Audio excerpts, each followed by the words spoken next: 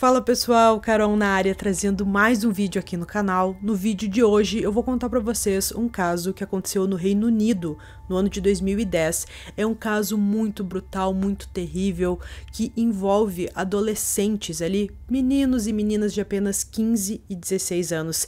Então é um caso muito chocante por causa disso, porque a gente vê que a maldade não tem idade. Se você se interessa por esse tipo de conteúdo, casos criminais resolvidos, casos criminais que ainda são um mistério, convido você a se inscrever aqui no canal. Todas as semanas eu trago esse tipo de conteúdo aqui no canal. Então se você gosta, se inscreve aqui no canal, deixa um like nesse vídeo que isso é muito importante e também ativa o sininho de notificações.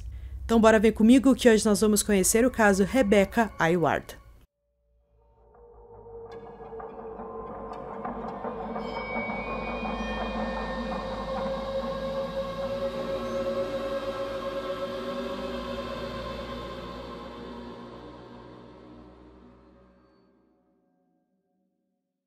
Rebecca Ayward nasceu no dia 28 de fevereiro de 1995, em Masteg, País de Gales. Sua mãe Sônia teve mais dois filhos, todos mais novos que Rebecca, Jack e Jessica. A jovem cresceu em uma família que era muito unida, descrita como muito gentil e atenciosa. Ela era uma aluna do alto nível, que com certeza teria um futuro muito promissor pela frente. Rebecca era estudante da Archbishop Matt Great Catholic High School, localizada em Brecla, Reino Unido. Nessa escola, ela conheceu um jovem chamado Joshua Davis, de quem se aproximou muito em 2009. Eles estavam no mesmo ano e compartilhavam muitos amigos em comum. Joshua também era um estudante de alto desempenho que era muito querido por seus colegas. Tanto dentro como fora da escola, os dois sempre se encontravam para estudar juntos. O relacionamento dos dois se desenvolveu muito rápido e eles se apaixonaram.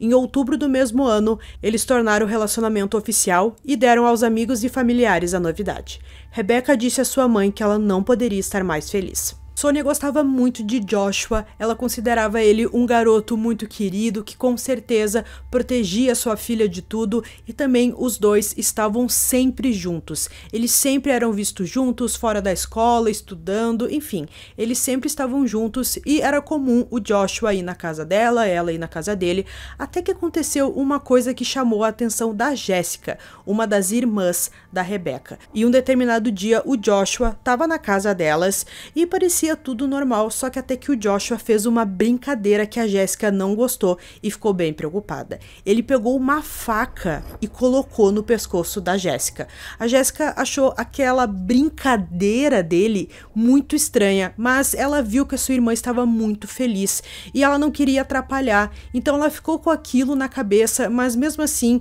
ela queria acreditar que foi apenas uma brincadeira, como Joshua disse, e que não queria levar esse comportamento estranho estranho dele tão a sério. Mas as coisas não paravam por aí. Em outra ocasião, Joshua estava assistindo TV com Sônia, na qual passava um programa sobre a Ku Klux Klan, e o jovem disse que adoraria ser um membro. Isso, é claro, a deixou muito incomodada. Em janeiro do ano seguinte, em 2010, num final de semana em janeiro, o Joshua foi convidado a passar o final de semana na casa da Rebecca.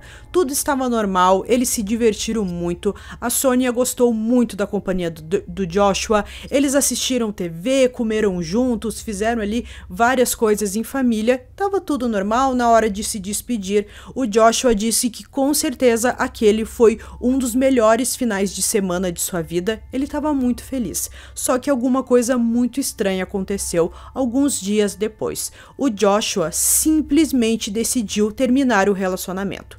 Os dois não tinham brigado, não tinha acontecido nada e ele simplesmente não queria mais namorar com a Rebecca. É claro que ela ficou muito chocada com tudo isso, porque era algo que ela não esperava, não tinha acontecido nada, nenhum motivo para aquilo, e é claro que ela ficou muito triste com toda essa situação, porque ela amava muito Joshua. Com o passar dos dias, ela percebeu que havia alguma coisa muito errada com seu ex-namorado, que seguiu por um caminho sombrio. Joshua começou a circular rumores sobre Rebecca para a escola, com a intenção de colocar seus colegas contra ela. Durante as aulas, ele contava a seus amigos que sua ex-namorada estava grávida, espalhava rumores e a intimidava. Rebecca se sentia cada vez pior. Era muito duro para ela ouvir essas coisas de alguém que ela tanto amou. Os amigos de Joshua também perceberam que havia alguma coisa errada. Eles ofereceram ajuda, mas o jovem disse que estava tudo bem. Joshua começou a descrever seu forte ódio por sua ex-namorada e como ele planejava o que ele iria fazer com ela, contando a seus amigos em detalhes. Ele revelou seus diferentes esquemas para prejudicá-la. Sabendo que Rebecca não sabia nadar, ele falou sobre atraí-la para uma ponte e empurrá-la na água. Joshua também informou os amigos que planejava envenenar sua ex-namorada, preparando um coquetel com uma alta concentração de dedaleiras para ela. A dedaleira é uma erva que, se consumida em grande quantidade, faz com que os batimentos cardíacos de uma pessoa diminuam ou se tornem irregulares, o que pode levar a pessoa a ter sérios problemas de saúde. No verão de 2010, Rebecca acabou no hospital com uma doença misteriosa. A jovem estava sofrendo de desmaios e fortes dores no estômago, necessitando de repetidas visitas ao hospital, enquanto os médicos tentavam descobrir o que havia de errado com ela. Os amigos de Joshua sabiam que ele tinha a intenção de envenenar a ex-namorada, mas nenhum deles se apresentou para contar que a jovem poderia ter sido envenenada. Rebecca recebeu a visita de vários amigos quando estava no hospital, mas Joshua não foi um deles. Ele continuou seu discurso contra sua ex-namorada durante esse período. Ele dizia que só saber de que ela estava viva o irritava e que o mundo seria bem melhor sem ela. Ele costumava contar a seus amigos sobre seu desejo de matar Rebeca, mas seus amigos nunca levaram isso a sério. Eles até disseram que se ele matasse a garota, eles dariam um café de manhã grátis para ele, em uma espécie de aposta. Joshua então começou a colocar esse plano em prática. A Rebeca melhorou muito, conseguiu voltar para a escola no segundo semestre, mais ou menos em setembro. Ela estava muito bem, conversando com seus amigos e tudo mais, até que o Joshua começou a se aproximar dela novamente. Eles não conversavam mais nesse momento, mas o Joshua precisava se aproximar dela porque ele estava com um plano na cabeça.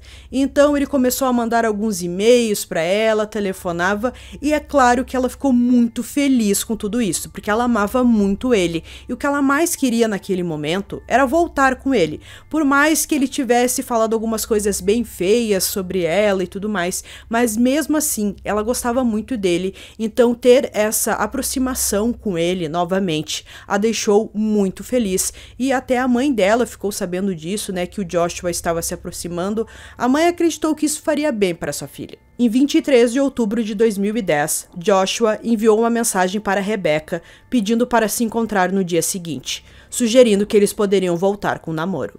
Rebecca concordou rapidamente e informou sua mãe sobre seus planos. Sônia disse que ela ficou tão feliz com a chance de voltar com Joshua que ela dançou pela casa na noite anterior ao encontro. Rebeca acordou mais cedo do que de costume naquele dia, se vestiu e passou um tempo extra se maquiando. A jovem estava muito ansiosa para ver seu primeiro amor novamente. Joshua estava tomando café da manhã com seus amigos em seu local de costume, enquanto Rebeca se preparava para se encontrar com ele. Para a surpresa de seus amigos, ele declarou que sairia mais cedo para encontrar Rebeca e contou a eles que chegou a hora. Naquele dia, a tia de Rebeca a largou na estação de trem. A jovem vestiu uma jaqueta vermelha e botas marrons. Rebecca esperou quase 10 minutos na estação de trem, onde eles combinaram de se encontrar, antes de enviar uma mensagem para Joshua, para perguntar onde ele estava. Ele respondeu alguns minutos depois, modificando os planos e pedindo que ela o encontrasse no parque. Quando ela foi até o local e descobriu que ele não estava lá, ela assumiu que era apenas mais uma brincadeira cruel dele e que ele não tinha nenhuma intenção de voltar com o namoro.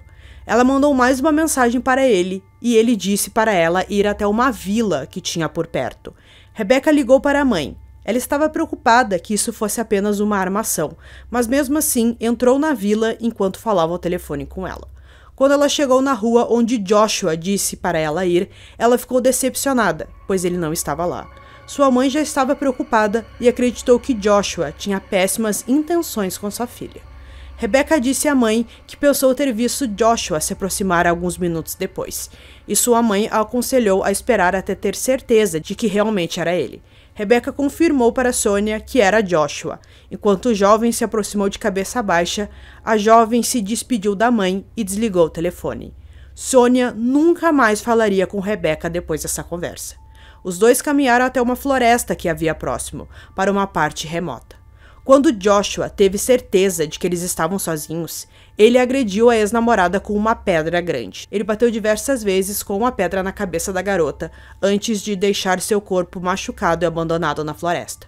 Quando Joshua estava fora da região, seus amigos perguntaram se ele estava com Rebecca, e ele disse que sim e chamou um de seus amigos para ele ver o que ele tinha feito. Um dos amigos foi até a floresta e viu o corpo da Rebeca já sem vida deitado no chão.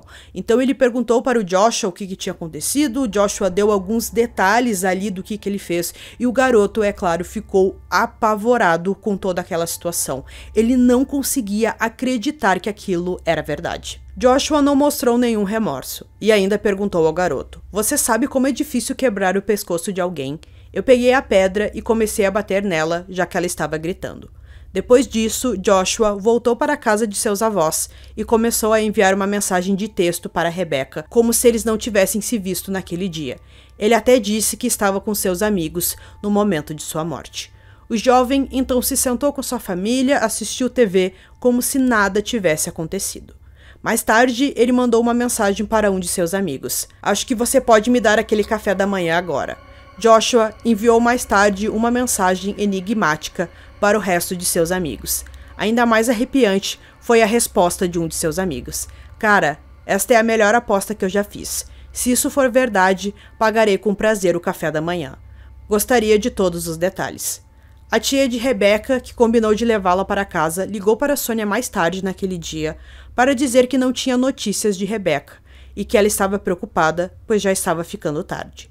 A família percebeu naquele momento que Rebeca não era vista ou ouvida desde o meio-dia. Mensagens de texto e telefonemas ficaram sem resposta, o que era incomum, pois ela sempre estava com seu celular.